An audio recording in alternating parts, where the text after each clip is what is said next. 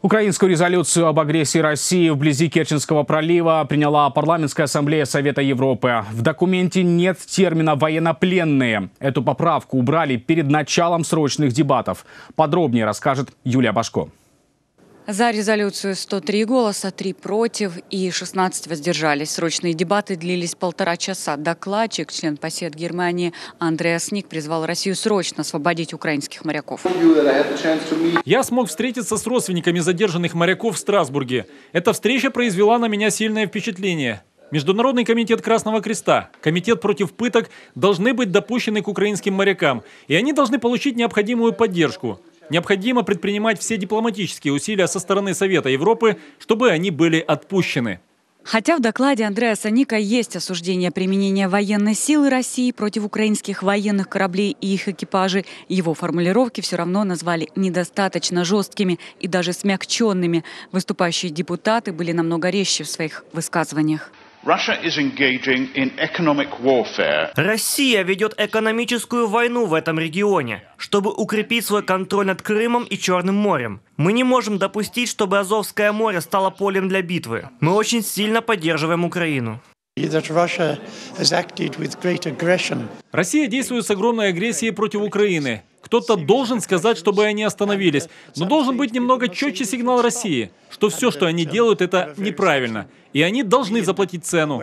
Поправку украинской делегации, а именно формулировку о статусе военнопленных для украинских моряков, накануне отклонил профильный политический комитет из-за слова «война» в тексте. Украина предлагала назвать их напрямую военнопленными, и это было наше предложение.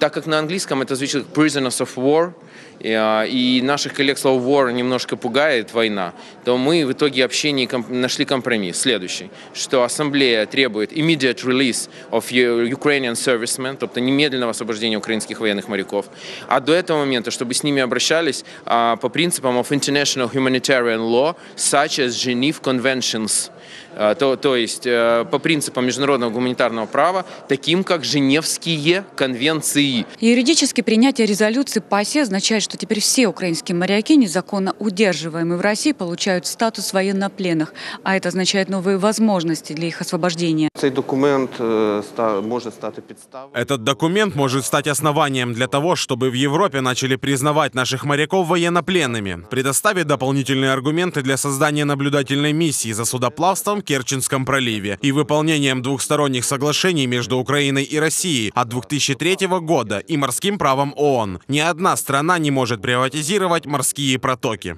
Какая реакция Москвы на принятие резолюции неизвестна. Накануне Госдума отказалась присылать своих делегатов. Но в день проведения дебатов появились представители пропагандистских российских СМИ и даже устроили провокации.